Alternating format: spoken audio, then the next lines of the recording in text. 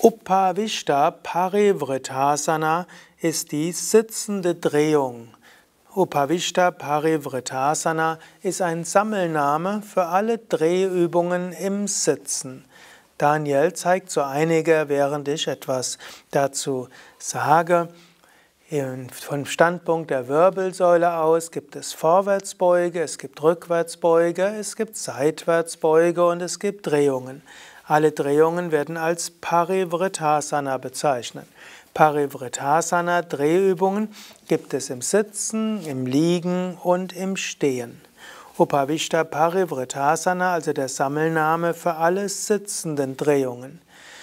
Dabei ist die Wirbelsäule typischerweise aufrecht und indem du mit aufgerichteter Wirbelsäule dich in verschiedene Richtungen, also auf verschiedene Weisen drehst, sorgst du für eine Flexibilität der Zwischenwirbelgelenke, du tust etwas Gutes für deine Bandscheiben, du machst eine gute Massage für die Bauchorgane und du lässt auch die Energie durch die Wirbelsäule nach oben bringen.